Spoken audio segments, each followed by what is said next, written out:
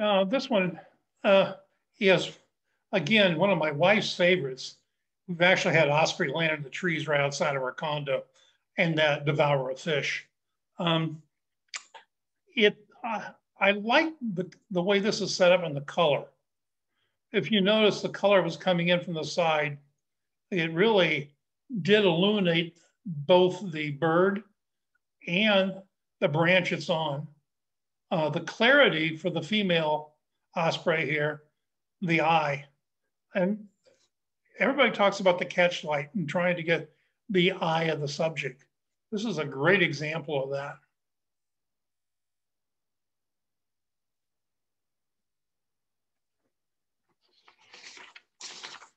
Okay.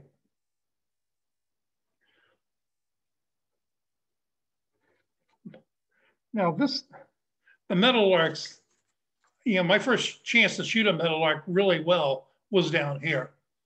And I really do, you know, love to see them out in the, the areas where you can photograph them and listen to their songs. Um, again, you know, the colors and the details in the meadowlark are really, you know, it's a great capture. Uh, but one thing I might do again, again, as you look at this, and it depends how you want to frame it or where you might use it. I might move it in a little bit.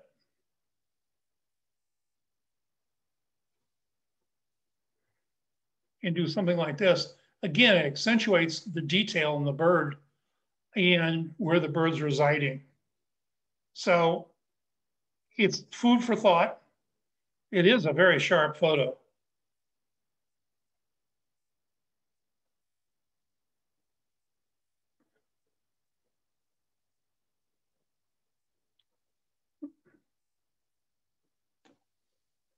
I guess the one thing I, I miss here is hearing feedback, but I understand why we have everything um, muted. But if somebody has another comment or a question, please unmute and ask the question. I have no problem with that. Ah, Mr. Pelican, you know, the detail in the body and coming right at you. It's, um, I really do like the sharpness of this area here.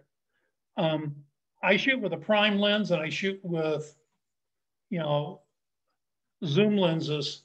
And the thing I found once I got the prime was, boy, you can't back up enough when a bird or animal's coming towards you. So I can appreciate parts of the bird not displaying. But um, again, it's something to consider and how you might position yourself. This is a great photo, particularly in the background in it, fits well with the bird. Um, Jay, you're getting some questions in the in the chat. Are you seeing ah, those? Oh, great. Okay, well, I can't see the chat right now. Oh, okay. You want me to maybe Alan could read them to you. Okay, fine. Uh, one of the questions that someone asked Jay is, what is the difference between a prime versus a zoom lens? Okay, a prime lens has a fixed focal length. Of, when I talked about a prime, I have a 500 millimeter prime lens. You cannot zoom it. It is just a straight lens, but it's for, you know for distance. My zoom lens is a Tamron 150 to 600, and so I can back that down to 150 millimeter and go all the way up to 600 millimeter. Um, and lots of times when I'm shooting birds in flight, I'll set it about two 250, and then as I see a bird I'll zoom in on it. As it gets closer, I'll zoom back. And it's done by hand rotation on the lens. So I can adjust the lens by doing that.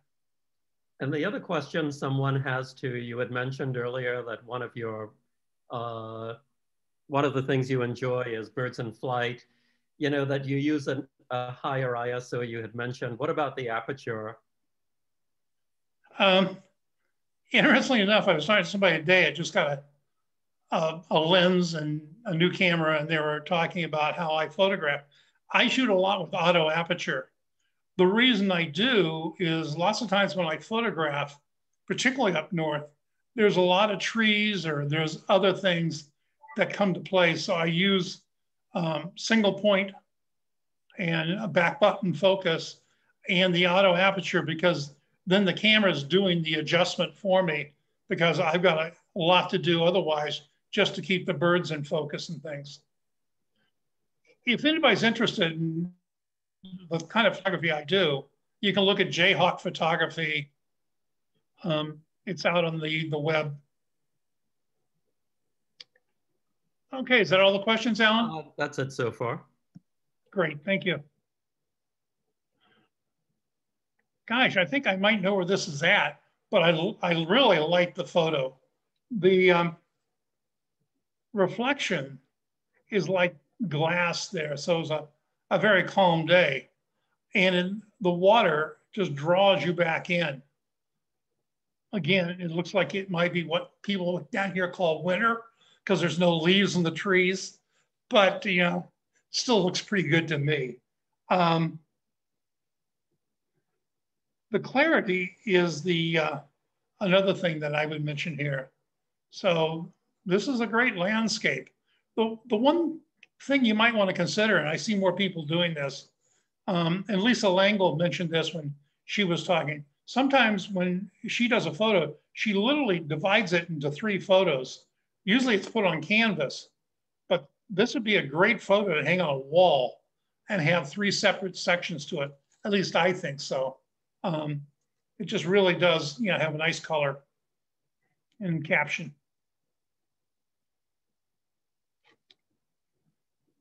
This I've looked at several times. Um, you know, again, these are elusive creatures. So to get a photo like this is really interesting. First, the detail in the photo, particularly around the eye and the whiskers, all this, the tongue, um, is exceptional. And you'll notice too, I like the fact it's on snow.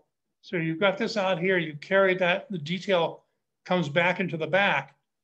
And then the background's just back there. It's not overbearing at all. Um, catch light in the eye.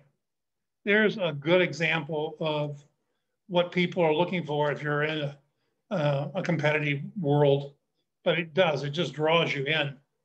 Um, again, one of the comments I have is when I looked at this, I go, wow, if you took and made this into more of a portrait. You can see a lot of the detail there. Um, I really like it like that. But again, it's how do you want to use it? What are you interested in and what are you trying to show? Because I don't really know that.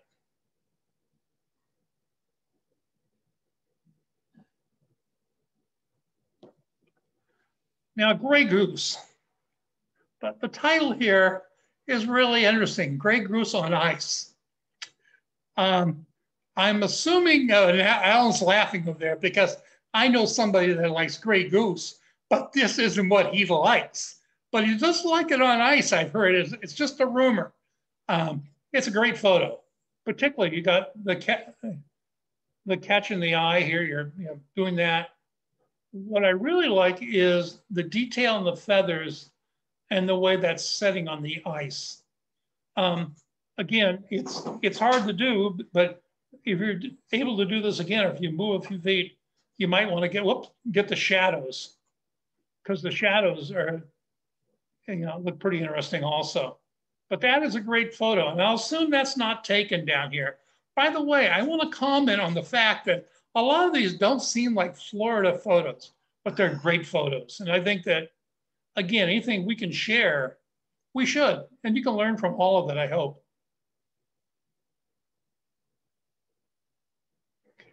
This was an interesting photo to me. When I first looked at it, I go, what's the title again? It says, raindrops keep falling on my head.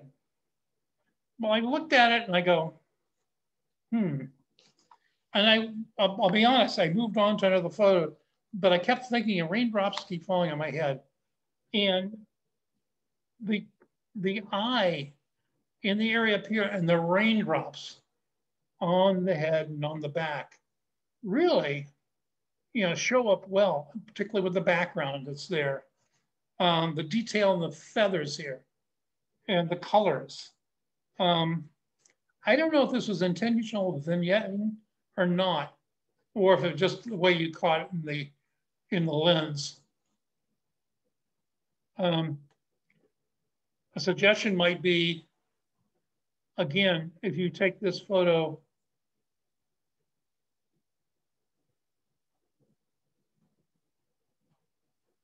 and do a bit of cropping on it. And I did this quickly, so you could definitely do get a little more of the the shoulder and stuff in here. But to me, that's a pretty dramatic photo in that eye where you can see right into the soul of the bird. And there's your raindrops.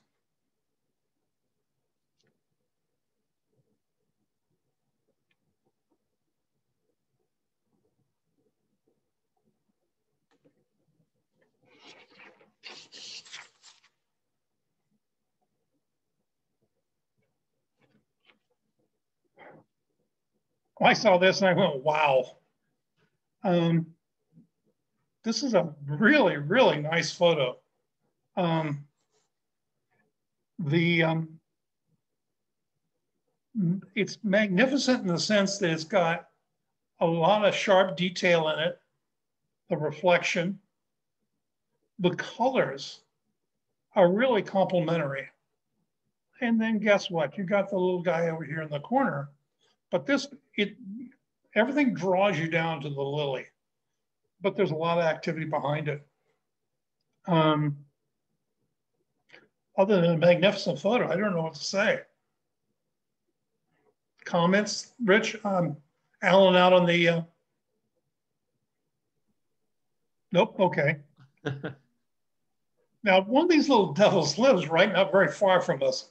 So he hasn't been bad this year, but in the past, it's a love-hate relationship.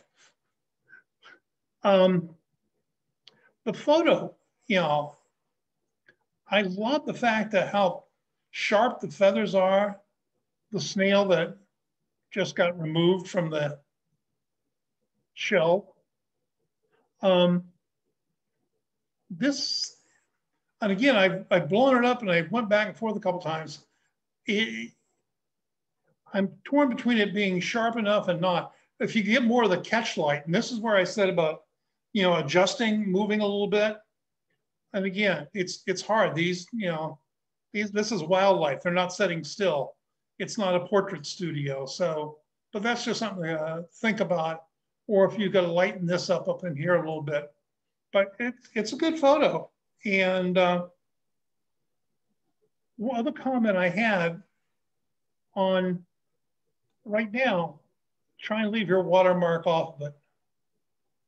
Not a big deal, uh, but for submission here, we say no watermarks, I believe. But hey, I'm more interested in the photo and what we might learn from it. And are you having fun taking the photo, to be perfectly honest. One quick comment, Jay, before you move on. And again, uh, just be aware of this. Uh, while this person picked a beautiful color that's very complementary to the subject to have as a border. Uh, be very careful when you're entering competitions about adding a border. Uh, it typically does not bode well with the judges. Here in the club, we encourage really, uh, if nothing else, a one or two point border to create definition so in other words, the photograph that was seen earlier with the iceberg or the glacier, you know, where the mountains are very white, so it would not have been a terrible thing to put a black border around it just for definition's sake. Uh, and again, if the picture is black or has a dark background to put a very thin white border around it, but be careful about how you use borders when you're presenting an image uh, not for a critique, but in a competition. But don't be surprised in critique sessions if the judge, sorry, not judge, if the photographer does comment on that. Thank you.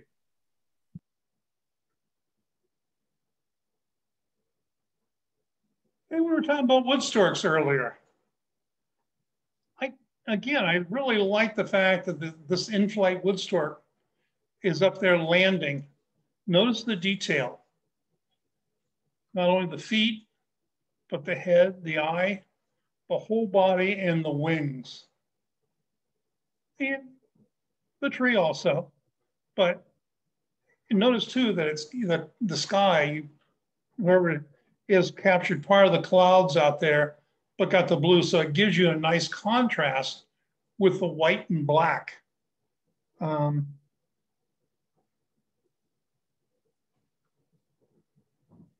just the detail throughout the photo.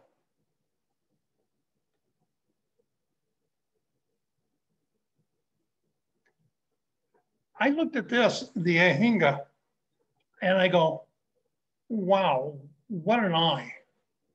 You know, and it really does pop out at you. Um, the eye and the head draw you right into it, the, the photo. Um, the feathers on the neck are very, you know, you know, clear and detailed. But one thing that, um, again, I thought about was if I if I saw this, you know, why put this here? It's not complete. I really want to focus on this. And so me being my obnoxious self, hopefully I'm not to you. Um, if you look at this and edit it down like this, I think it becomes more dramatic. But again, how do you want to use it? What do you want to show? Um, what are you looking and how are you looking to present it or where are you looking to present it?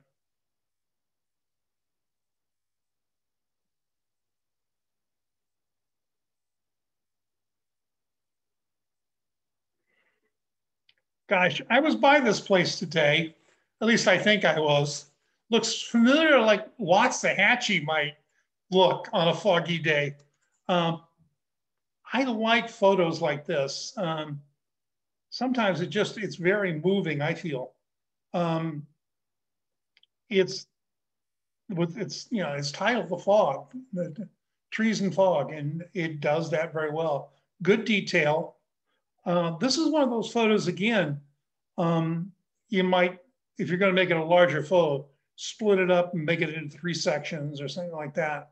Um, it becomes very effective, and a lot of people want this kind of art in their homes these days.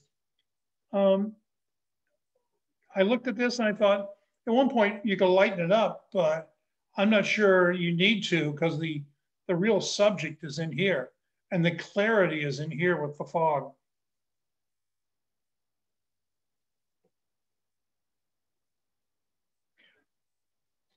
Now, here again, this is just an amazing capture. Um, the fox, you know, is looking straight at, I believe the photographer, but looking straight ahead. And so you got catchlight in both eyes. Um, the colors um, around both the ground and the background really accentuate the fox.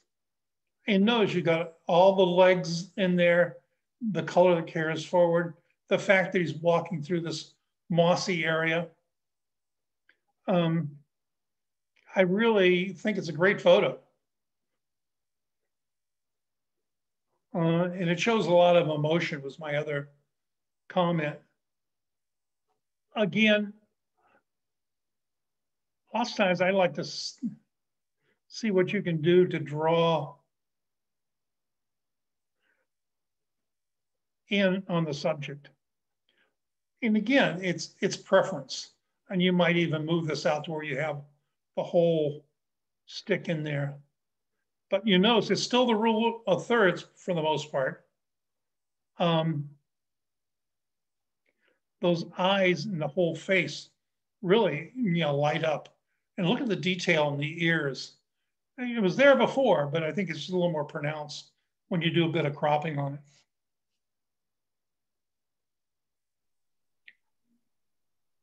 What was the other red animal? Oh, the um, it was a marten. A marten? Oh, okay, okay. Where did the they live? Where did they live? Well, I, have seen them up north. Obviously, that the one was up before. It was in the the snow. Um, I've seen them in Maine and New Hampshire. Um, I haven't seen any particularly in Mass, but I know they exist in Western Mass, for example. And I think they probably come down as far, I don't know if they're down here or not. I, I can't answer that. Okay. I, am from California, so that's why I was puzzled, but never um, seen one. You you might see them in, uh, in the mountains or up in higher elevations. Okay. Okay, so that was all the nature photos that we had. I really want to compliment the folks that put these in. Um, we say beginner to intermediate for class B. People here have done some, got some amazing work. And can you improve? Sure, we can all improve. Um, but, you know, you should be very proud of what you presented here. So if we take a minute, I'm going to back out of this group of Jay, can I ask you a quick question? This is Mimi. Sure, go right ahead. Um, what is your opinion on, for I'm just going to take, for example, the Osprey? It, just because I had a lot of shots, we were on a boat and and I, I had a lot of images of the Osprey where he, you know, he could hear the camera clicking and I had the same image, but he was looking at me. And I felt like the bird looking at me was not as natural as the one that I uh, submitted. And, and how do you feel about the animal looking into the camera as opposed to, I don't know, what's your take on that? Um, I really, I photograph when I find an animal, if I have it staring at me head on or coming at me head on, I have no problem with that at all. Um, I'm interested in the action. If you have, like the osprey at first and the fish, if you can get both of those with the catch light and stuff, if it's coming at you or if it's uh, a side view, I think both are very, you know, acceptable. Matter of fact, I tried, I, uh, before I came down, I was photographing snowy owls. And uh, I was all the time trying to catch both eyes of the snowy owl looking at me and in flight.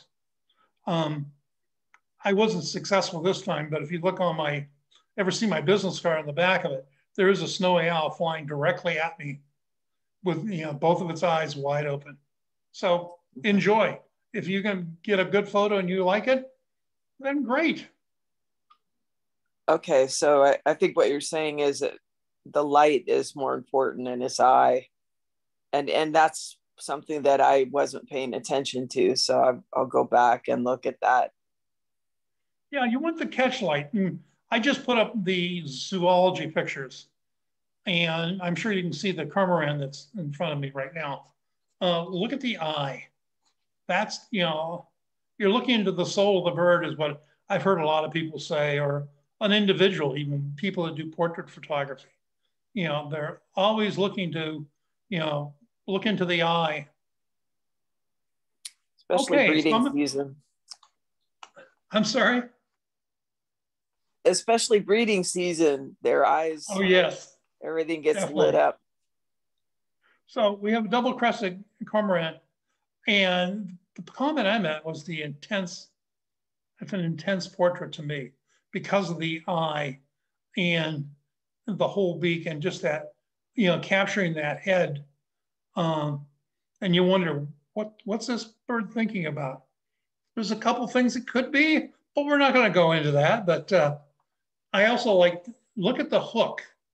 So you know when this guy goes hunting, he's or, you know for fish, he's already got a way to you know, you know, latch on to his prey. And it's great color, both of the bird and the background. I looked at this and it just kind of made me happy. I have two granddaughters who love bears. And um, that made me think of them. The um, panda having a snack. Again, there's some really great detail in here. If you looked at the down here in the front, all the way to the back in the tree, you got some very, very nice detail. Good color. Um, but the one comment I would say, and then again, here's where I say if possible, move two feet, three feet, whatever you can to each side and take a few shots. Um, I, I look up here and I know the eyes are there, but they're not, I can't get the catch light in them. I see the patch where they're at, but if you look at the mouth and stuff here, that's fairly clear. If you had the eye, wow, what a shot. Same thing with the ears. Remember the um, fox that we looked at and you can see down the fur and stuff in the ears. Minor detail, you might be able to lighten that up and uh, get that through some of the post-processing. I don't know, but it is, it's a good shot. It's a good photo.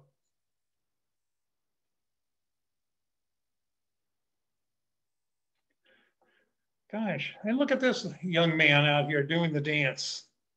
Um,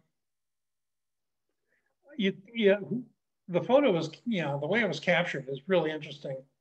Um, finding birds that are doing mating dances or anything that's going through a ritual is always, to me, lots of times I stop, put the camera down and watch what's happening. But I also take a lot of photos too. So um, I can't say I do that as much as, you know, I may talk about sometimes. Um, it's a good blend of color. Again, look at, you know, your bird, look at the, the limb, and then look at the background. It really accentuates the bird. Um, again, notice that there's some blur down here.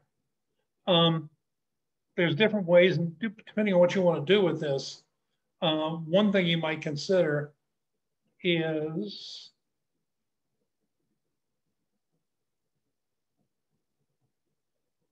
so you don't want things that distract from the bird. Uh, if I could, without cutting this short, I would move that leaf completely out. But when you try that, it doesn't work that well, I don't think.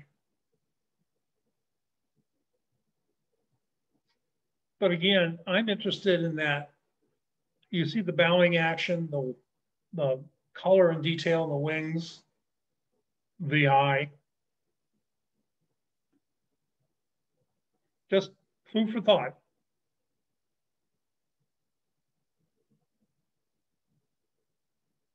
Gosh, Martens are awful popular down here. I didn't realize, that must be sand on the ground, right? If you can tell me where that sand is, down here. I'd love to go see it. Uh, now, you know, all kidding aside, this is a, a, great photo again. One of the things about Martens, notice the coloring. if you if you ever look these up online, or if you're around them someplace up north, because that's the only place I've seen them, um, this coloring can change dramatically from just different animals. Um, but this is really outstanding with the catchlight. And notice how all the fur, the detail is there, including those little toenails that I'm sure are well manicured. Um, what would I do? Gosh, you probably already know what I do. But again, rule of thirds sometimes I just like to the face is what really intrigued me. And look at the whiskers. Look at the detail in the fur when you crop in on it. But again, what do you want to do with the photo? Where do you want to show it? Um,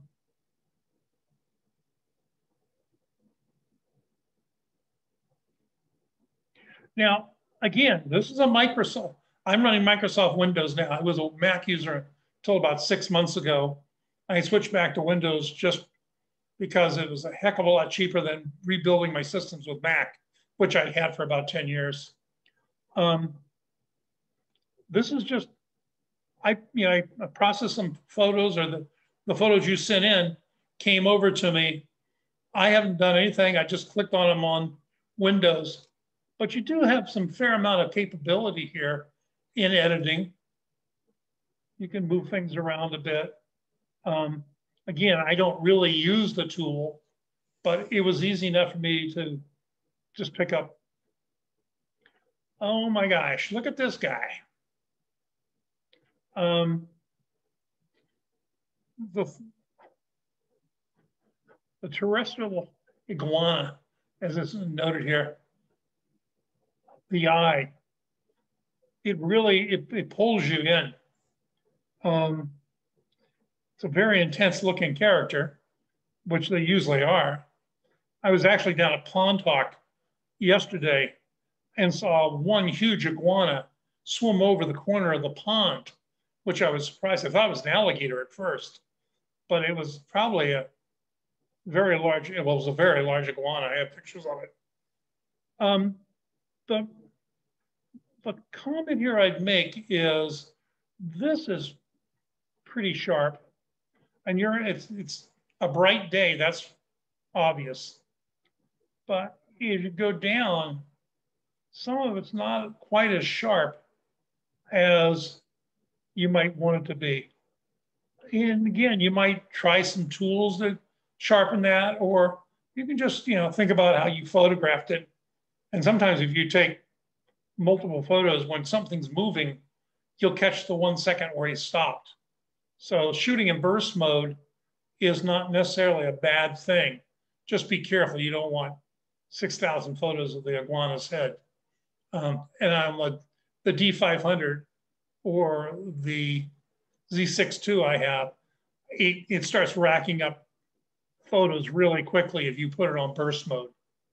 But it's another way to capture anything that's moving and just short burst and so you can get it home and take a look at it. you could do some cropping on this, but you know, it is what it is. If you're looking for the iguana, you got it. The, these again are, uh, I think anybody that photographs birds always wants to try and photograph a hummingbird. And it's got to be one of the most difficult birds to photograph. Not only because it's buzzing around. I didn't say flying, I said buzzing. Um, and I do have a tendency to photograph these two or three times a year. And boy, does it, you know, when I photograph them, I photograph them at high ISO and um, auto aperture. So, because they don't stay in one place all that long. But I like the photo. It's a lot of this out here is distracting. Again, you know, if you're in a contest or something, they'll say, what's the story? Well, the story is the uh, hummingbird on the plant, but it's kind of, you know, left out there in the middle of things and it's not the rule of thirds. So if you try to be a little creative here,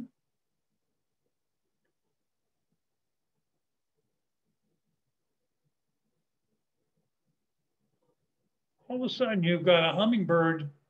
Again, motion on wings on hummingbirds and some of that. Uh, if a lot of people, that doesn't bother them. They want to know that they got a, a good sharp eye. The plant they were going to is clear. Uh, the tail feathers, where possible, are, are clear. So this female hummingbird, really, I think, you know, zooming in on it a bit, either with your camera or um, in post editing can make a difference.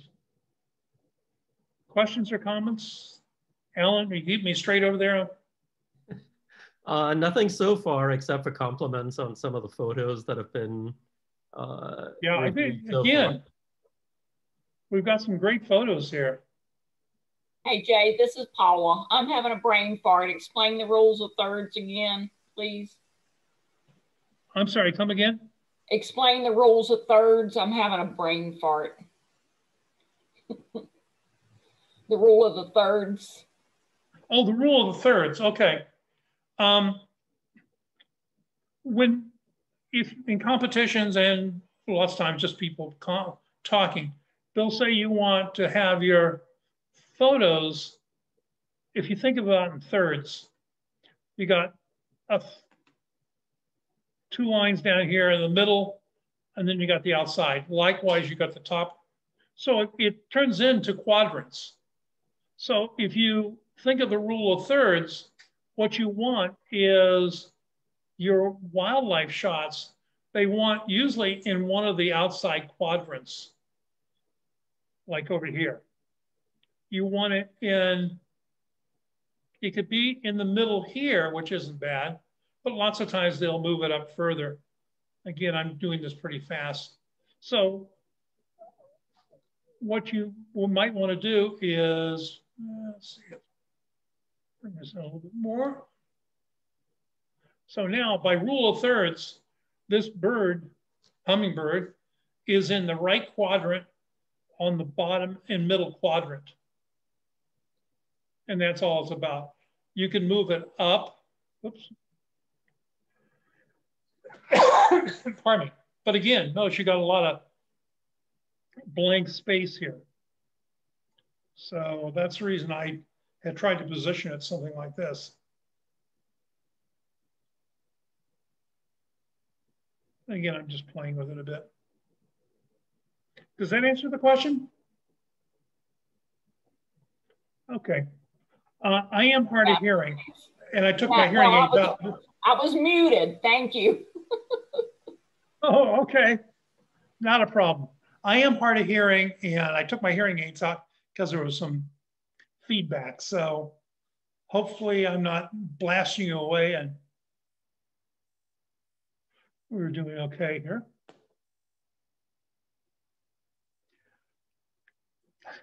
When I saw this photo, and it says, what shows up when you're waiting for something else?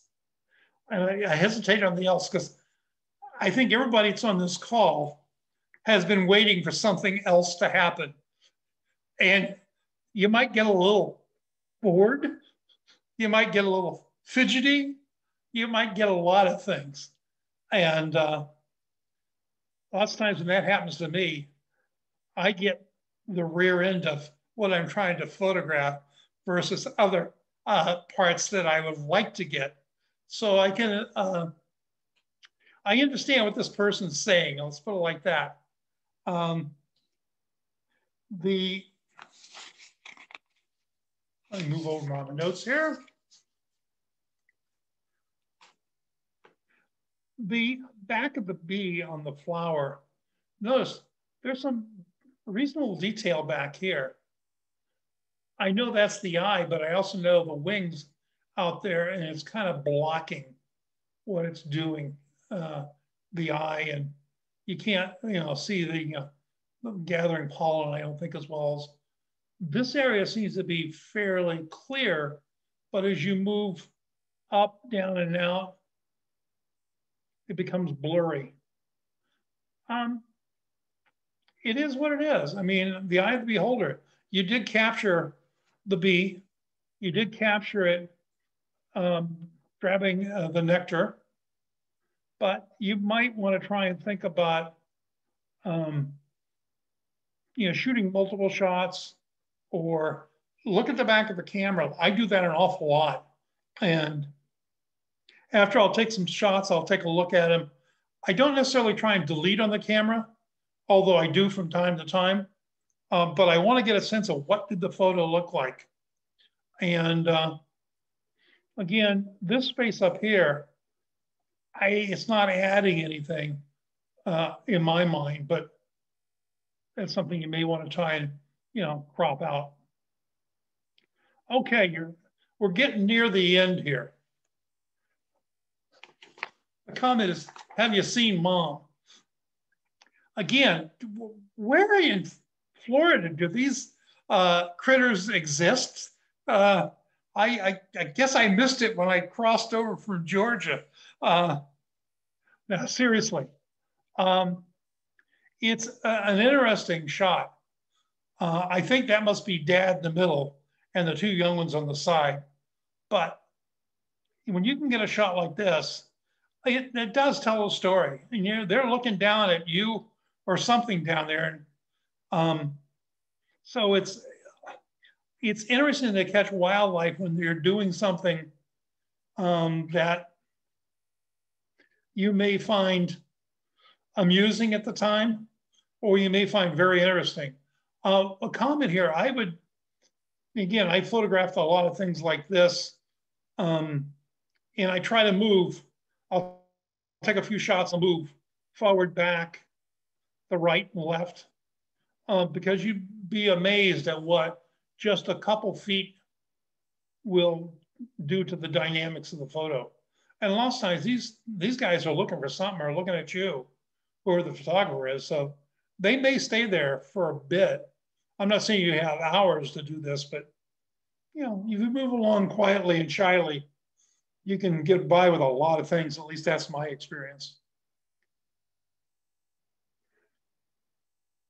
My God, and when I saw this, talk about eyes and talk about intensity and being drawn in. Notice that, you know, this little kitty cat is stretched out across the whole picture. And uh, there was some lady I had, uh, I understand, likes cats. Uh, this one I understand will come to your house. Okay, it's bad humor.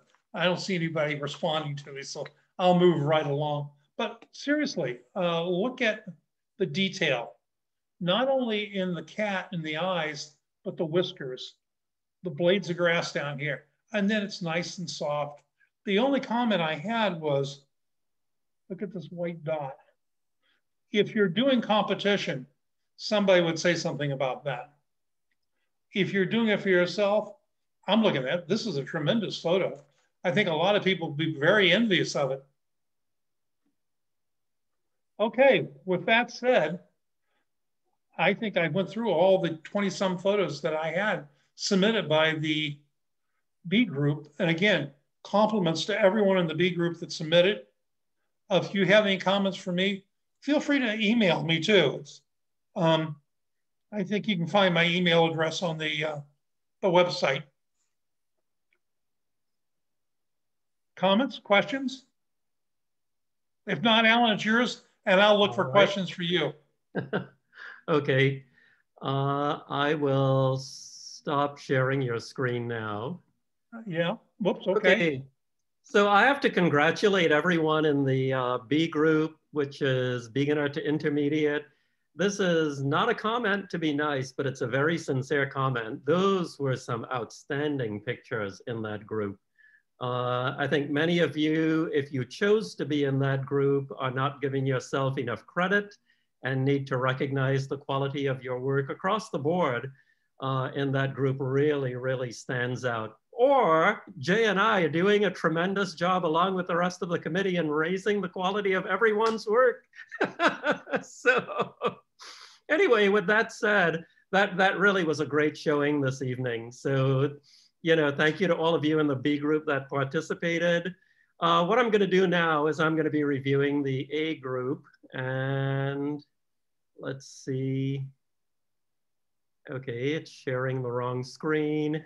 Let's see if I can get this to show. Uh, all right, I guess it won't let me show Photoshop, so let's see. Uh, Jay, what do you think the reason is that it may not be giving me Photoshop as? I don't know because you're on the Mac right now and I don't. Oh, that's right. Alan, this is Rich. Yes. Um, typically, and I'm, I'm, I'm, I'm talking from the PC standpoint, but I suspect it's going to be the same thing. And Scott can correct me if I'm wrong. Uh, you have to have Photoshop open first and then go to it uh, uh, from Zoom. Okay, yeah, it is open currently. So let me see. Let me see. Because when you, because when it. you share the screen, uh, you should see a block of everything Oh. that you can click on. All right, I had to minimize my Photoshop screen to do so. Thank you, Rich. Okay, back to All mute. right. Uh, let me make the screen a little bigger. So I apologize for the technical difficulties. I am in the process of rectifying it. I just want to get the images as large as possible. So this should do it now. Okay. So this here is the A group in zoology. And uh, this one here is entitled Fish. I'm just going to reiterate uh, what I what I encourage all of you to listen out for this evening are the consistent comments that photographers make about the work.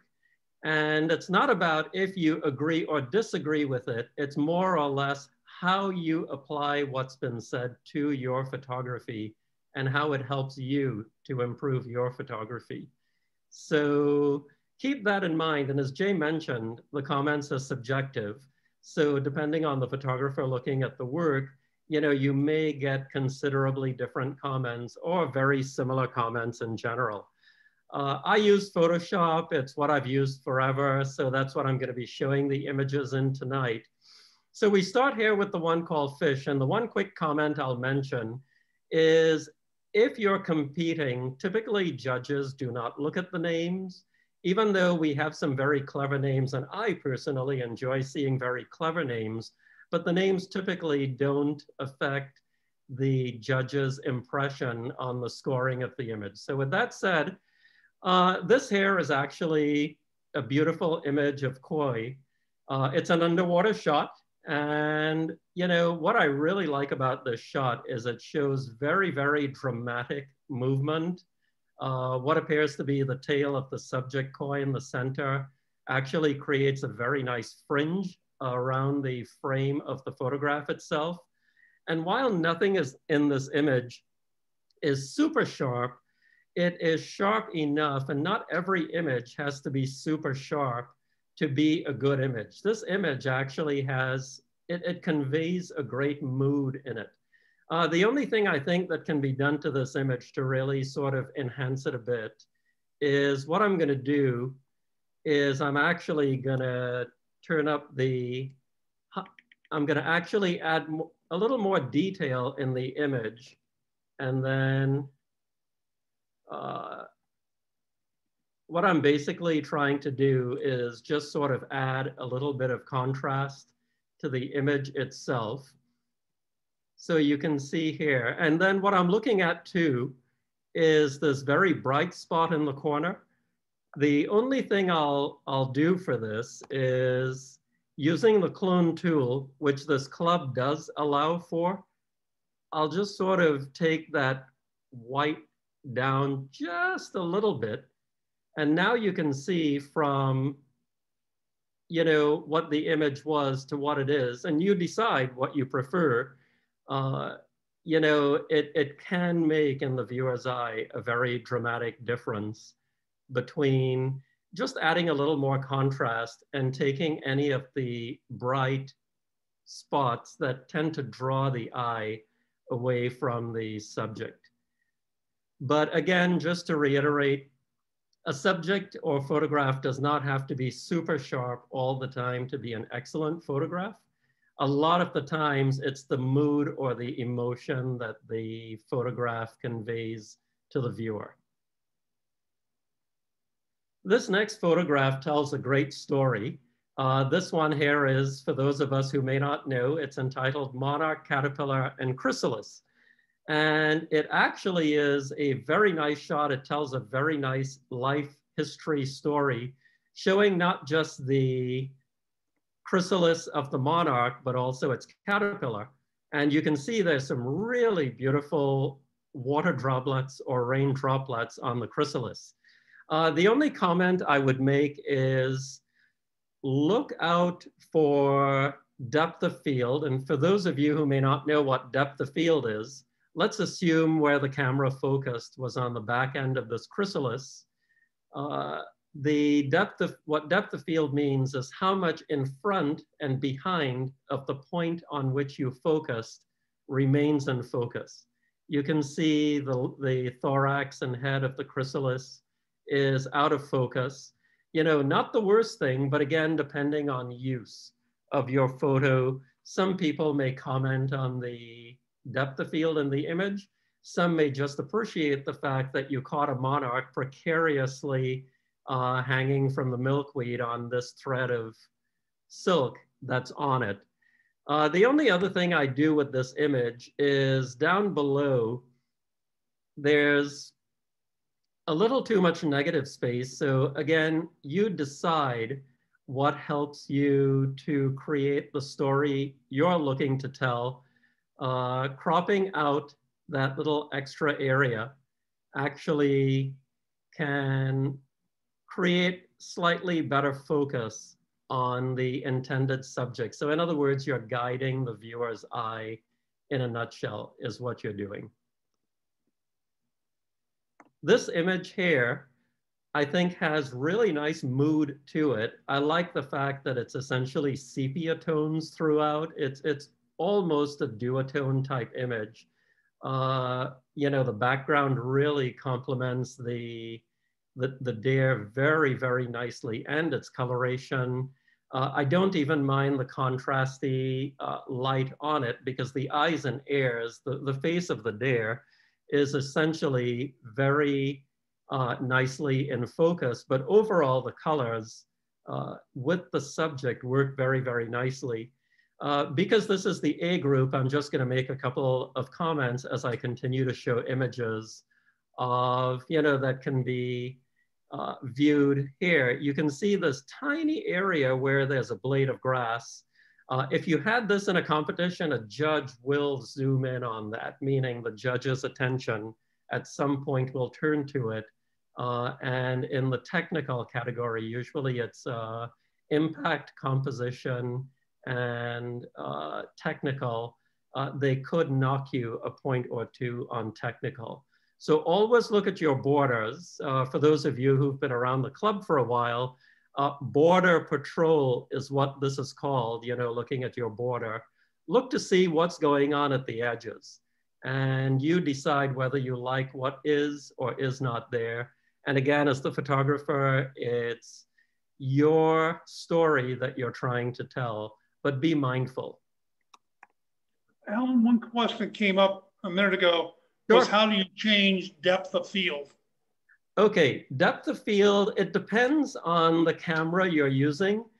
Uh, if you're using a mirrorless camera or if you're using a single lens reflex camera, the number or aperture that you're shooting at is determines your depth of field. And typically the smaller the number, so for example, if you have an aperture rating of 2.8, that means your lens is, your aperture is very wide open, which means you're getting a very shallow depth of field.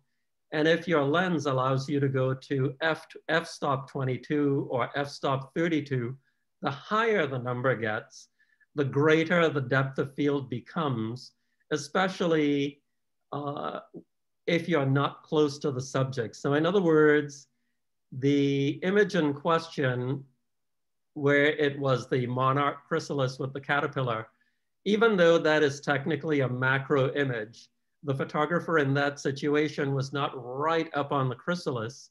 They were backed up enough to get not just the monarch butterfly's chrysalis, but the host plant along with the caterpillar.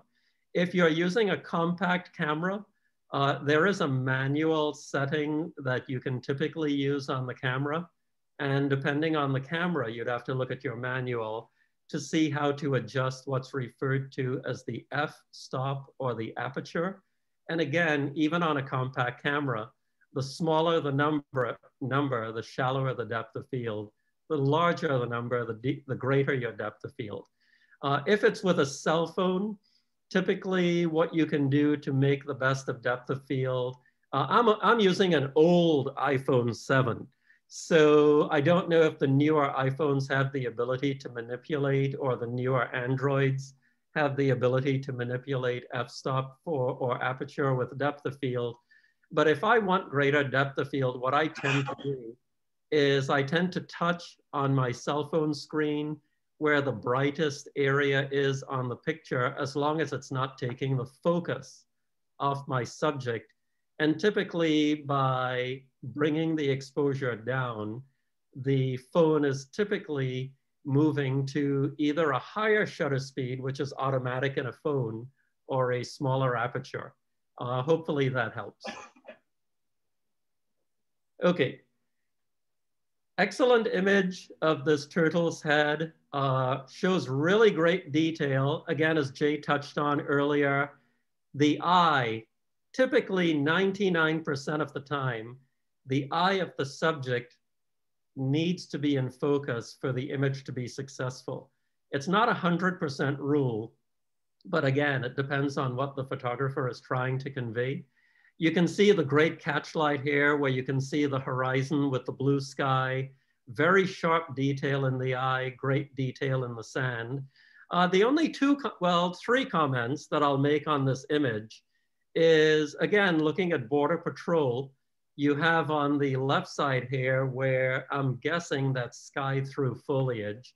And one of the things you can do, and again, this is a term from photography of old, you can burn in an area that tends to be a little overly bright so it does not detract from the main area of the subject that you want the viewer to look at. So in other words, if you look at this versus this, you can see how by taking the exposure down on a bright area, you're actually guiding the viewer of your image more to the focal point of your image.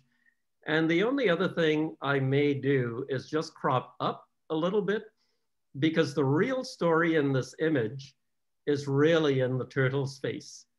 So again, it's up to the photographer and what they're looking to convey. And oftentimes it's not unusual, uh, it's not unusual for a judge to want to see a little more area above and to the right, typically in the direction the subject is looking in. Uh, let's call it breathing room or giving the viewer a little space that they can identify with the subject. And it sort of seats the subject into its environment, for lack of a better term, uh, instead of uh, coming in so closely to the image itself. So again, that's up to the style of the photographer, but things to keep in mind in general. Uh, one comment on that, Alan, too. Yes. If you hope to print your pictures, remember you want to leave enough edge room so you can manipulate it in the mat. Very true. Uh, that's another thing too, is uh, even if you were to mat your picture with or without a matting around it. So in other words, even if you were just to dry mount it without a mat, remember the frame is gonna crop in probably, uh, you know, an eighth to three sixteenths of an inch around. So you, you risk bringing the mat board or the edge of the frame right to your subject. So be very, very mindful of that. So that's a very good comment uh, in terms of how you use your image or what the intended purpose of your image in. If it's for publishing, you don't have to worry as much about that, if not at all. But if you're making prints for framing, it is a very serious consideration. Uh, this here is, is a beautiful shot, an amazing moment. Uh, you know, where Jay mentioned earlier, he loves to see birds in action like the osprey with the uh, needlefish. You know, to get these two Halloween pennant dragonflies uh, mating, you know, it's, it's an amazing situation to capture. Uh, I typically do not care if the subject is damaged at all. Uh, some judges tend to look for perfection. Uh, you know, so again, it's you're, we are always at the mercy, especially if we compete with our images. We are always at the mercy of the personal bias of the judge that's, uh, you know, that's reviewing the images. Just a couple of things I can do here. And again, these are always just recommendations. It's always up to the photographer in the end. What I would do is I would make this a little more vertical, because the, the blade of, of grass. And I would sort of crop in a little bit. And in Photoshop, I have, uh, you know, auto fill. So you can see where it sort of filled in what would have been white at the top and the bottom. And you decide, you know, which works better for you, which makes for the story that you, the photographer, is looking to convey. But typically, judges will look at a line that's, you know, if your horizon is just crooked a bit, they pick on that. Uh, because the blade of grass was just off, it was barely diagonal and not quite, you know, you may want to decide what you want to do and straightening it up does make it, I think, a little more dramatic. Uh, the other thing you can do too is you have very good detail in your highlights in this image. Uh, you can even enhance that a little bit, you know, just because the image itself has good detail in it. You can see here where if you look at this area of the dragonfly, where just bringing a little more detail into the subject makes the area just a tad more interesting. So again, uh, always up to the photographer and what they're looking to convey, but really a beautiful image overall.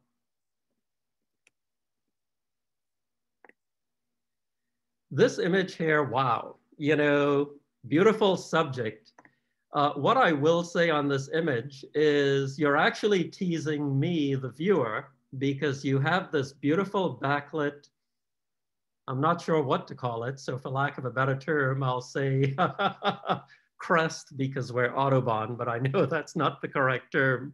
But, you know, beautiful image where you've gotten remarkable detail in the head of the iguana you found a subject that has, you know, this mature male that has this beautiful, dramatic orange coloring on it.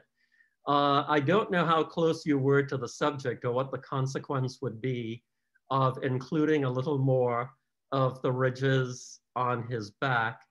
But just be aware and play with your cropping. I'm assuming this image was cropped a bit. Uh, play with your cropping on the image. The other thing that I'd point out is while you have one of his toes with his claws shown, another toe is cropped off. And some, again, if you're using your photography competitively, judges do tend to look at when things get truncated or cut off. Uh, you know, it draws attention to something that shouldn't have attention focused on it because again, the attention here is the remarkable detail in its head and the one leg that you have on here. So what I'll do now is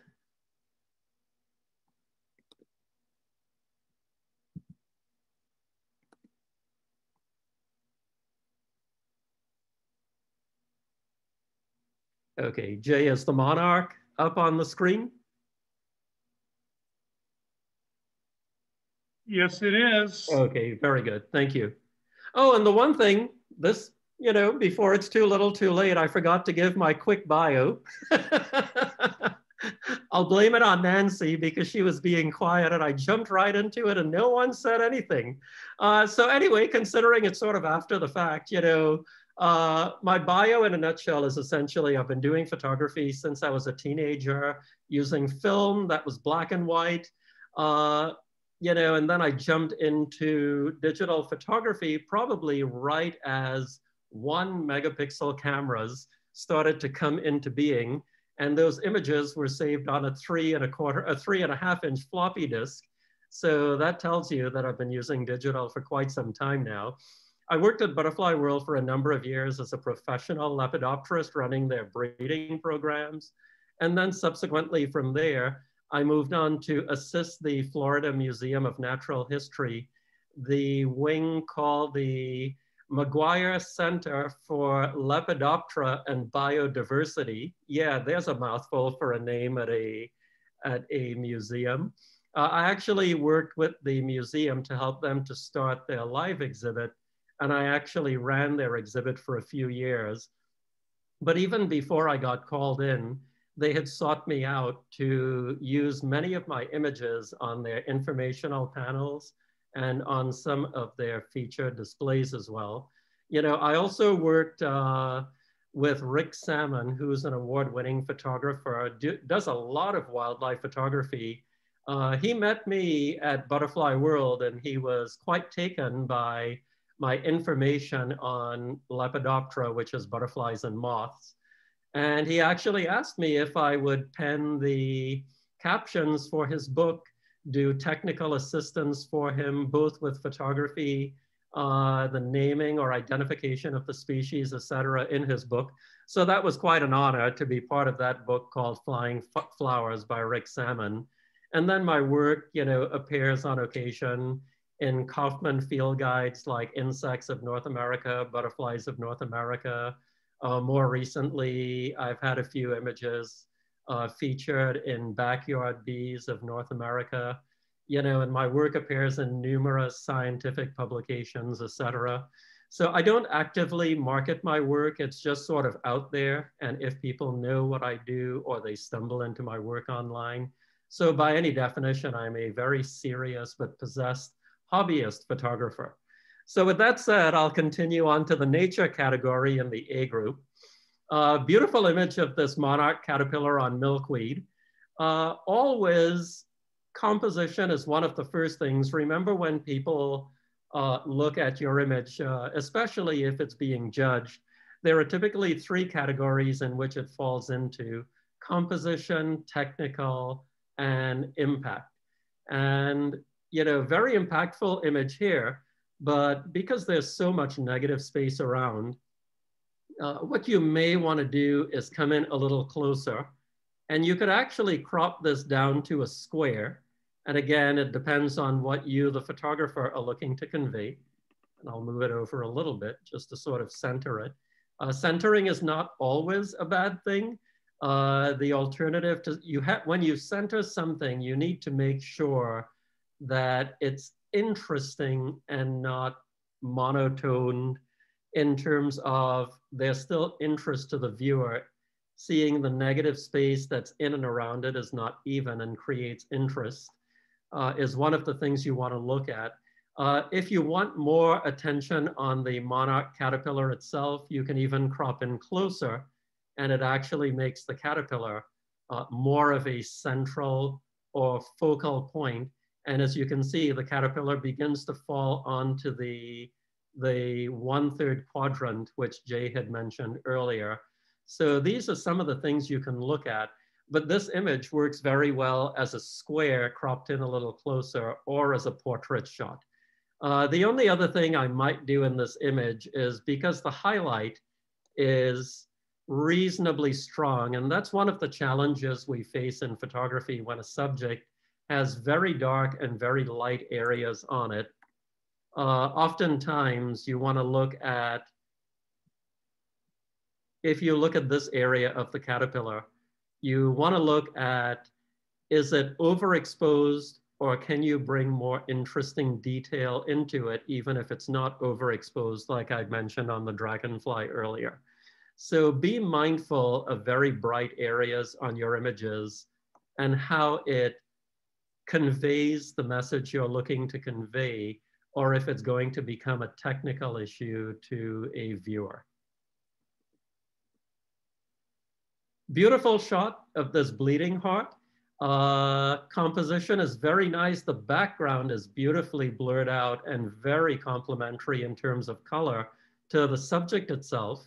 Again, for composition, the only thing I may do here is take a little bit of the space out on the left-hand side.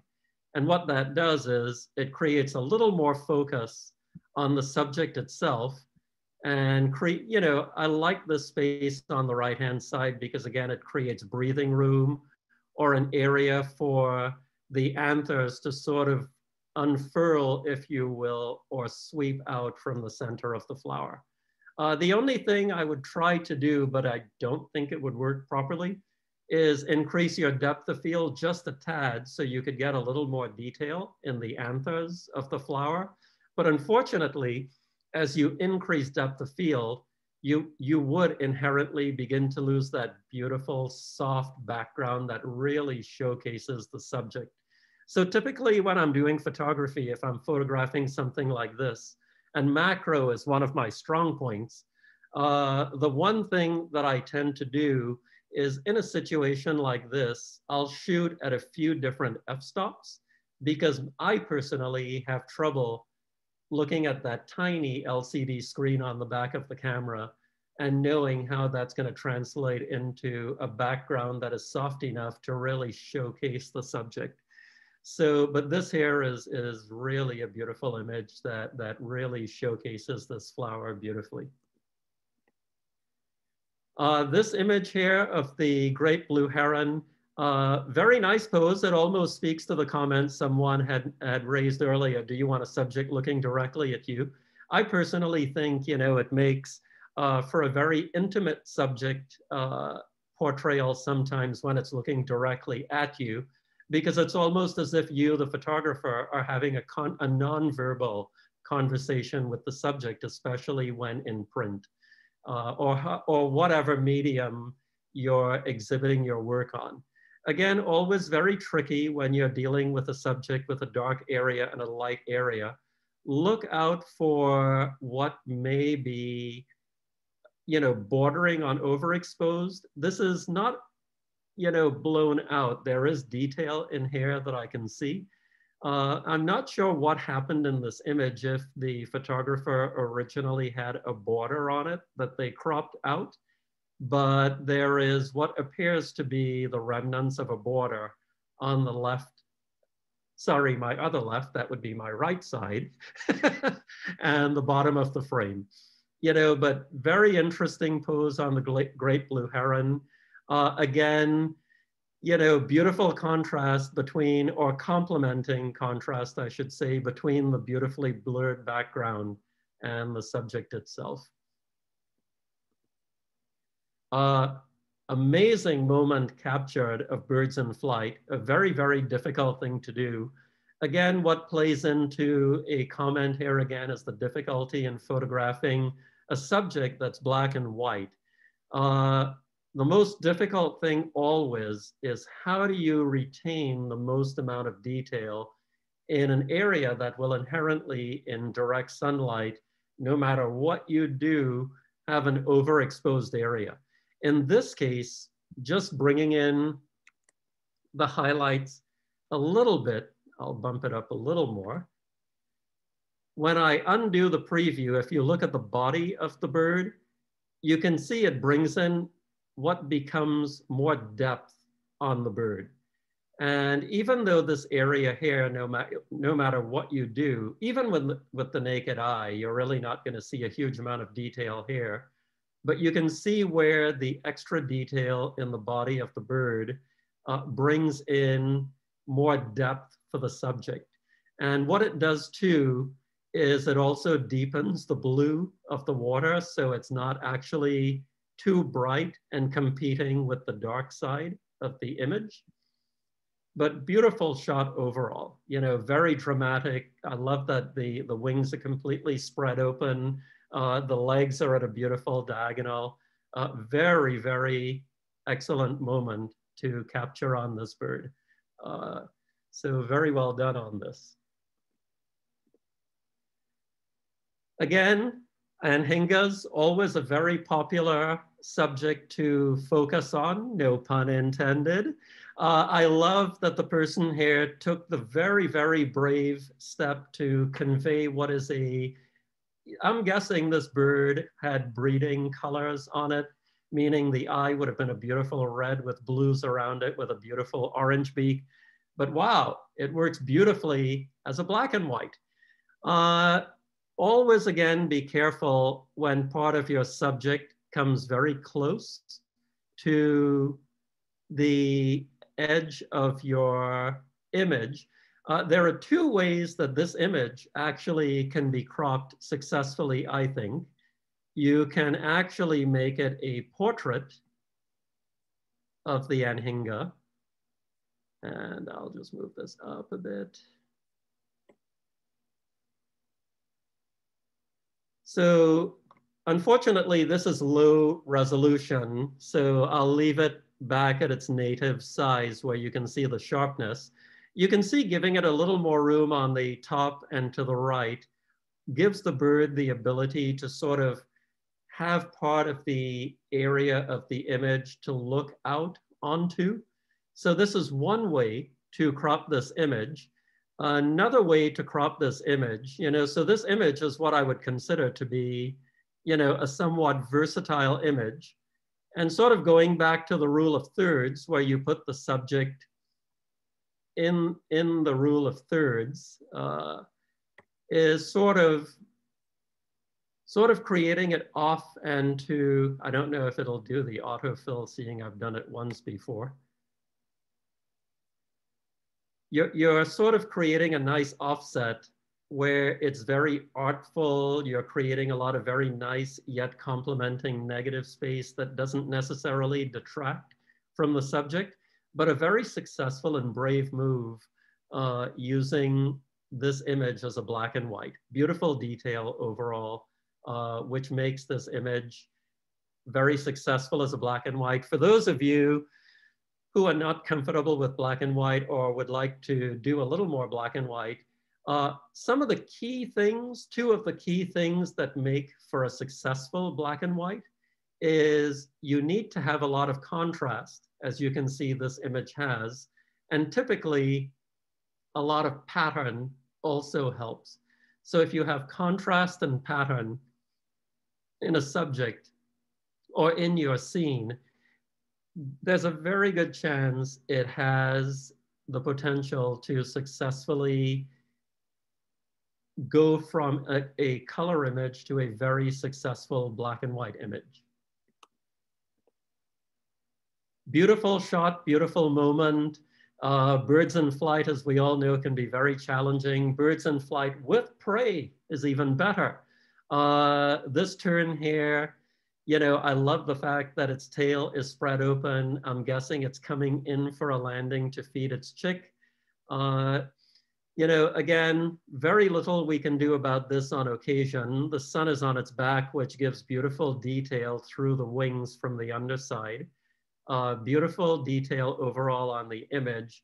Uh, you know, th this blown out area, blown out meaning there's no detail in it, is very difficult to avoid, but just be careful the extent to which you have it. Again, I'll just demonstrate here by adding a little more detail into something that is already had very good detail. If you look on the, on the wing of the bird, you decide if you like it more with a little extra detail in it, or if you like that light, airy, translucent uh, feel that it had before. Again, that's up to the style of the photographer. And as Jay mentioned earlier, look out for your bright spots. So these areas you'll want to burn in a bit so that they do not ultimately draw attention away from the viewer. You, uh, what I'm doing right now is burning in. That's a term that comes from when we actually did, you know, black and white or color prints. And it's where when you were projecting the negative with light through it onto the paper, you were actually physically putting something to between the light and the print. That's called dodging. Or if you actually have a piece of uh, paper or board cut out with a hole in it, that way you let light in over a very specific area for longer than the remainder of the print. That's called burning in. So you decide in terms of the technical aspects you're looking to display, you can see the difference between the brighter and the darker uh, spots on the image and how it helps to create focus on the subject itself. In other words, reducing distracting elements in the background of what is your subject. Another great shot, it's always nice to have things in motion and just instead of just sitting nicely you know, it always tells a very nice story and it shows, in my opinion, a lot of patience on the part of the photographer, you know, in capturing that exact moment right before the bee lands on the flower. Uh, the only thing I would look at here is this flower coming off on the right hand, on the left hand side. Uh, I really haven't been drinking yet, but I think I'm thinking Grey Goose from the B group title. so, you know, this hair is distracting to the subject itself. So what I would do is I would actually crop it out. And in our club, we do allow cloning. So what I would do is I would actually switch, and I, again, I'm using Photoshop. I would actually switch to the cloning tool, and I would actually clone out the residual area of the flower. So be mindful of when you have things, again, remember the term border patrol, you know, just doing a quick job. What I'm doing now in Photoshop is some of the areas that may be a little distracting to the image. Uh, this is something judges will pick on, even though it's a natural spot on the leaf. Uh, judges do tend to look at things that can be a little distracting. Uh, even though this is, this is not sensor dust, this is probably actually specks of things that are on a spider's web or probably something that was floating around in the background. It may even be pollen getting shaken loose from this bee up here. Uh, look to see with things like this in an image, if it tells a story or if it's something on the technical side that a judge may pick on. So it's up to you whether you leave these in or not. Uh, but again, another very nice image, but you know, enhanced by compositionally by taking just a bit of the left side of the image out and cloning in the residual of the flower that was here. Another meadowlark, beautiful image of a meadowlark. Uh, you know, I so far have not managed to get a great close up like this or the one that uh, Jay had in the B group earlier. Uh, very nice feel to the image. I love the blurring in the background. Again, another thing judges will pick on is look at the highlight on the white area of the bird. So I'll see what I can do here in terms of I really couldn't, when I was trying earlier, I really couldn't bring up a lot of detail in this area of the meadowlark. And there is detail there, I can see it. You know, but what I would do is look at your shadowing. You can see here that just by lightening the image, I'm actually showcasing more of the detail on the bird. And I'm actually detracting a little bit from this highlighted light area on the bird's head. So look out in terms of, do you want the dramatic shadows and highlights? You know, play around with it. That's the beauty of the digital age is you can undo pretty much everything you do. And if for some reason you can't undo it, as long as you're not saving over your original, you can start over again. So look at your options and see how it works and what you like best and what best conveys your story. Beautiful image of a purple gallinule on fire flag feeding. Uh, really, really nice. Very good depth of field. You can see everything from the beak right down to its tail uh, is all in focus.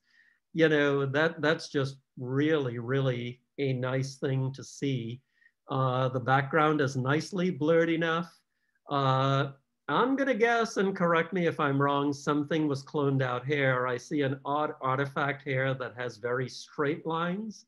Uh, look out for if you do remove or clone things out of an area.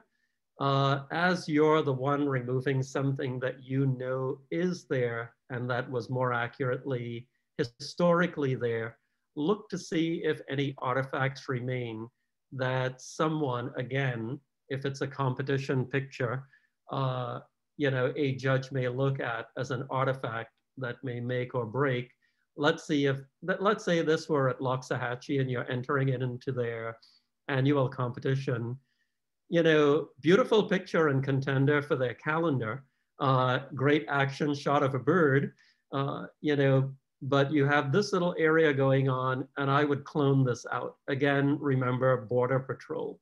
So this here actually ultimately pulls the viewer's eye toward it, especially because the bird's looking in that direction.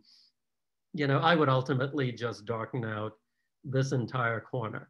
But again, that's an opinion. Again, it's in the eye of the beholder in this case, the photographer, what the photographer is looking to convey. But very nice image and moment. Beautiful shot of a hawk's face. Uh, you know, very nice to get it peeping out from through the, the foliage in which it's perched. Uh, you know, very good focus on the bird itself. You know, there's some, you know, branches in front of it that are blurred that I don't think is a big deal. You know, so look, when you look at an image overall, my eye personally wants to keep going to the green leaf I know it was there and there's nothing we can do about it. Uh, for those of us who've been in the club for quite a long time, who've seen some of our presenters who've competed with their image, uh, images nationally and internationally, sometimes the judges knock something out of the running or even honorable mention because there were too many black pebbles on the sand on which the subject were on. you know, that's distracting to the subject itself. You know, the a, lo a lot of the times if you're in these uh, big competitions, uh, they look at nature as if it's perfect and waiting to be photographed by the photographer. As we all know firsthand, it's not the case, but be aware it does play into a judge's scoring depending on the level at which you're competing. Uh, beautiful technical shot of this uh, I've gone brain dead of this bird. so, loggerhead shrike. Oh, okay. okay, so very nice picture. The only thing I would look at is composition. Uh, in this case, being in the dead center of the frame, uh, I don't think really showcases or tells the story of the bird. Uh, but again, it's, it, it depends on the purpose of your image. If this is for a field guide, that's really showing the pattern on the face, the shape of the beak, uh, then it's great. Uh, if you're looking to enter it in competitions, uh, then the criteria change a little bit. Uh, some judges may pick on the fact that it has some, uh, some of the plant that it's been foraging on on it. Uh, some judges do not but always something to consider again, up to the photographer. Uh, what I would do, I don't always like a subject that's very, very centered. Uh, what I would do is just try to crop it just enough where it sort of creates enough of an off balance tension. You can see where the breast of the bird is falling on one of the thirds and you know, slightly different image. I was trying not to crop this area out, but you know, again, you can play, you can play with your composition and again, have it complement your style. So again, being digital, you wanna look at various options available to you in terms of how you wish to present your subject matter. Uh, the only other thing I would do too, there is some wonderful detail here in the white of the bird. Needless to say, all of you have noticed this beautiful uh, light captured in the eye. Uh, you've noticed, you know, just the sharpness, uh, focal sharpness of the beak although I wouldn't be, I wouldn't want to be on this end of, of uh, its beak, you know, and you will want to bring a little more detail into the, the shrike's face and probably even, so you can see here just by bringing a little more detail in, you know, you're creating that much more interest on the face of the bird. Okay, and that does it for the A and B group. I have to say, you know, we had a, and everyone can unmute now if you'd like, and you can, you know, you can share comments on thoughts, be it about technical comments, be it about personal comments from Jay and me. Uh, but the images tonight, you know, very strong group of images overall. I think you all are doing a very good job. You're not just having fun with your photography, but you're really, really capturing some beautiful images when you're out there. So that's excellent. Whether it's in Florida or not in Florida, Jay. hey, I'm the one that got criticized for having photos not in Florida. But those ones that got submitted, that had that white sand, they were magnificent along with all the others. Uh, one of the things we tried to emphasize is this, we're here to have fun we're here to learn. This is not the eye of the beholder. There's no right or wrong here. And the more you photograph, the more you might be pleased with what you have out there. But it's all about your pleasure.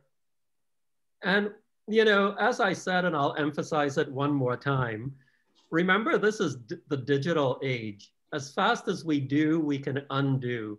So I would encourage all of you to sort of experiment with cropping, uh, experiment with different compositions, in other words, for your images. And then at the end of the day, save, you know, two, three, or four versions, depending on what the image allows for creatively. Like you saw what I did with the Anhinga. It could have been a portrait shot, it could have been a landscape shot. And I think personally, both worked extremely successfully. So, and again, because it's the digital age, what Photoshop has, I'm not sure about the other programs, it has an autofill. So you saw when I cropped beyond the edge of the image, if the image was a blurred section of the image, it auto-filled it seamlessly. And Photoshop typically does a very good job of that. So I've grown to like it. Unfortunately, Photoshop does not always autofill uh, for me, and I'm not sure why. I may take that up with Adobe to see if it's user error or if it's just a little kink in the programming, but it's a really nice tool to have. And, you know, what I try to emphasize in, in my comments on the pictures is there are always options. And remember, anything called a rule in photography is really a guide. So if something is a rule of thirds, you can break it you don't have to be restricted to it. Again, it comes back to what you, the photographer, is trying to convey to the viewer with your style. You know, it's also said nothing should be centered. And sometimes something can be absolutely dead center and be more stunning than if you applied any rule of third to it. So remember, it's about the story with your subject and your style that you're looking to convey. So and comments. Thank you, Alan. We got some nice comments uh, on our, our comments back to the folks. Uh, Alan mentioned, you know, don't be afraid to experiment. I'll use that term with your post processing. Do the same with your camera. And I'm sure people have said, have your camera book with you. That's always a good idea, but don't be afraid to do some, try something out of the ordinary, something a little different uh, if nothing else, positioning or, you know, light, things like that. You'd be surprised how dramatic it is and something you may want to add to your book of goodies. Let me give an example of what Jay just said. Uh, I recently photographed a buck moth at a very small natural area close to my house. And it's a moth that flies, meaning it exists an adult, for only a few short weeks of the year. So across three days that I went, and those three days were spread out over a week and a half. I'm extreme, I'm possessed, I'm an addict. I shot 3,500 frames of this moth. I shot it from above, from below, backlit, frontlit, you know, three quarter profile, high uh, depth of field, shallow depth of field. You know, I mean, I went to town because I have to wait another year for them to show up again. And I mean, I had a blast. And, you know, you can go home, and even though it's a royal pain in the neck, and I do this to myself, so consider it masochistic tendencies, where I now have to go home and hit that delete button hundreds of times or buy extra external hard drives. But the fact is, I got a series of shots and angles that depending on what I'm gonna do with my images, it's for, if it's for publishing in a field guide, if I'm entering it into an art competition, I have images that cover the gamut, you know, and what's your favorite picture may not be the selected picture for a publisher. So if a publisher comes to you and says, you know, Jan, Rachel, Holly, Scott, we love your images of whatever it is that we've seen that you have out there can you send me three for consideration for publication? And they may very likely pick the one you like the least because it tells the story the publisher is looking to tell. So that's why it's nice to have that variety. And I tend to overdo what Jay said. Jay will move to a three feet one way or and the other way. And for as long as the subject stays, I'm two feet, 10 feet, 12 feet, I'm up, I'm back, I'm moving around. I'm trying to make it backlit if feasible. Uh, you know, I'm trying to get the lighting on the face depending on my angle. And again, it's always up to the subject and how long it will pose for us. So, you know, keep that in mind. Uh, what it does too is it helps you to break out of your comfort zone. And I don't know about the rest of you, but oftentimes my favorite picture on the back of my camera's LCD screen is typically not my favorite picture when I look at it on my computer. So what I think is successful in the field is not at all something and may be subject to that infamous delete button I've referenced earlier. So don't be afraid to experiment, period, in the field with angles and light, in the digital darkroom with composition. You know, digital allows us that freedom the number of times you can snap that shutter button is all up to how much charge you have on your battery or extra battery and how many uh, flashcards you have with you. So again, it's your style and your preference. So keep that in mind. We'd like to thank you for joining us for critique. Thank you so very much. It was terrific, really. Oh, you're very welcome. But again, beautiful work from everyone. Um, I am extremely impressed. I'm always impressed with the A group, but tonight I think the B group blew expectations out of the water. I was not expecting, uh, you know, pretty much every image was excellent tonight. So, so very well done. You're all doing a great job. You've, you, you've, everyone's setting a really high standard. That's they great. are. They they really are. I think I think it's beautiful. I think it's beautiful. You know, but again, what I encourage you to do is the comments that Jay and I made. It's not about whether you agree or disagree with it. How do you apply that comment to your work, and how do you grow as a photographer from those comments, whether it's applied or not applied. And when I say applied or not applied, if you've thought about it and haven't done it, you've applied it. But at least you've thought about it. And that's the important thing at the end of the day. Sorry, Scott, go ahead. No, no, I was, you guys, no, I, I the only, I made a comment before and I just want to reemphasize it.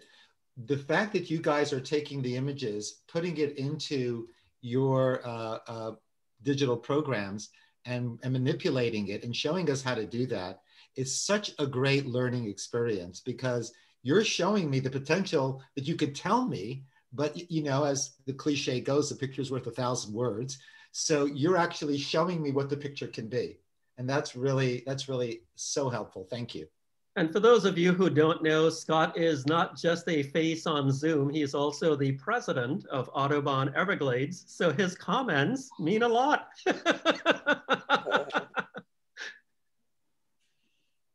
Well, again, folks, um, please watch the calendar. We got several events coming out, uh, coming up, and um, let us know what you think on the uh, survey because that's what's going to drive what we'll be doing over the next few months and next year.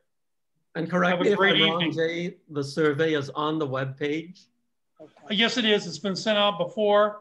Um, if anybody's, you know, can't find your questions, I think you all have my name and number now, my email address at least, or you can send to AE exec, and that's Alan and I. All right. Well, thank you very much again, everyone. Great job. Keep doing safe photography out there. And uh, we will see you at the next meeting. Good night. Okay. Have a great Thank evening and you. everyone. Thank you.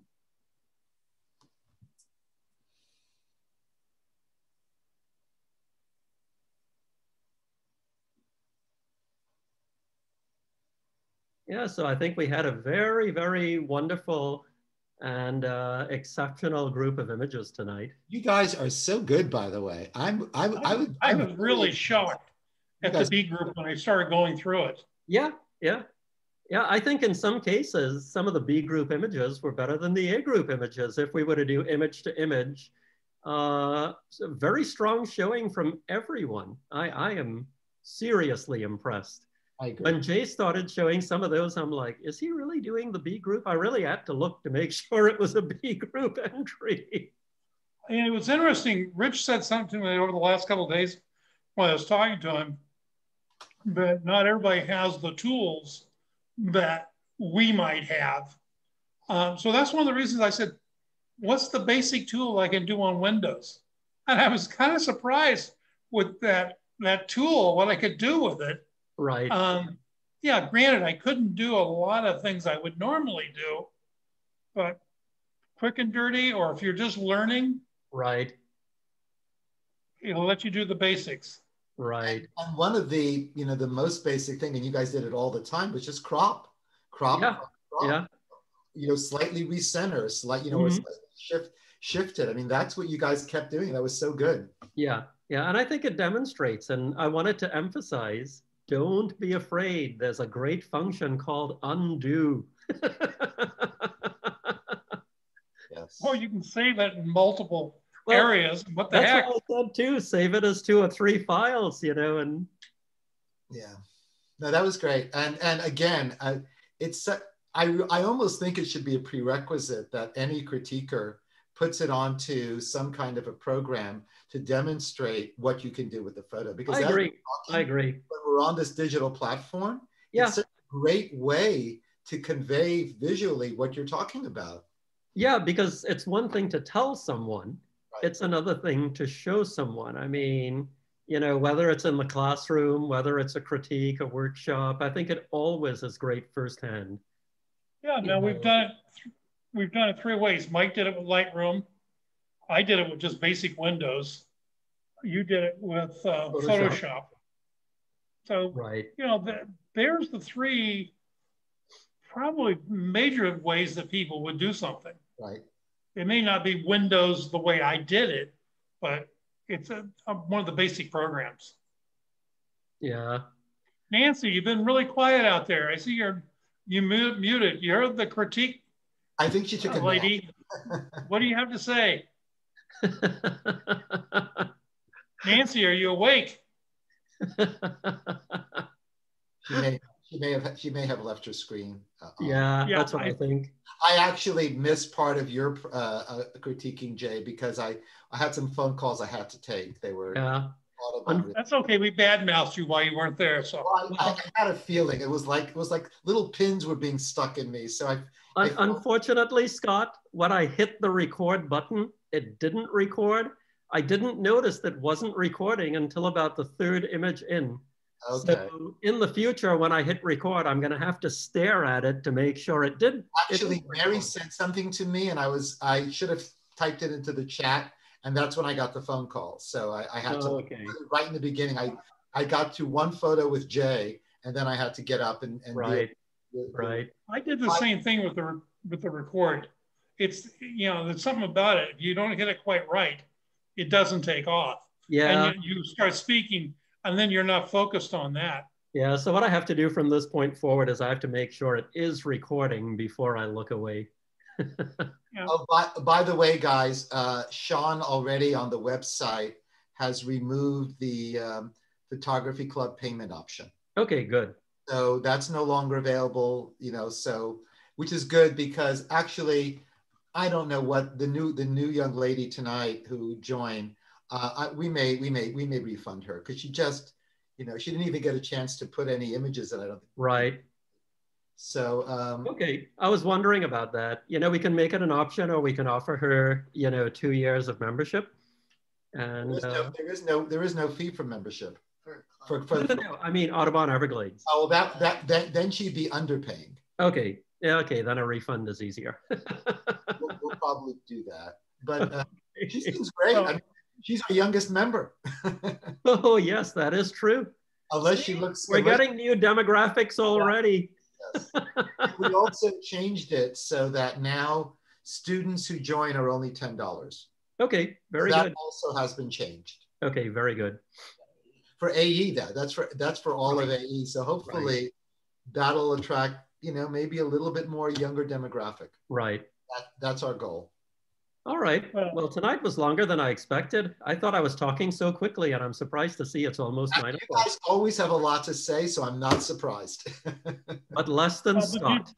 With the photos, do you think it was too long or did we, Not for me. I mean, you know, I don't know for anybody else. I mean, I thought whatever you guys said was great. So stayed on. it everybody didn't seem like we lost anyone.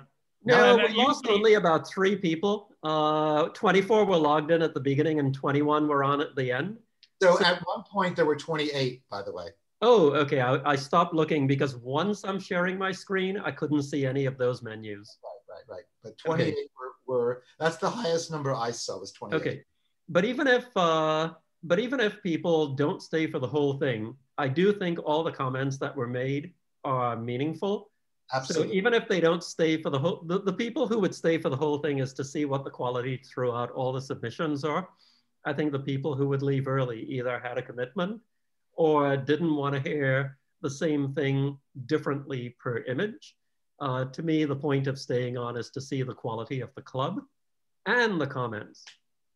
A lot of times, once they see their image, they'll move on. Right, right.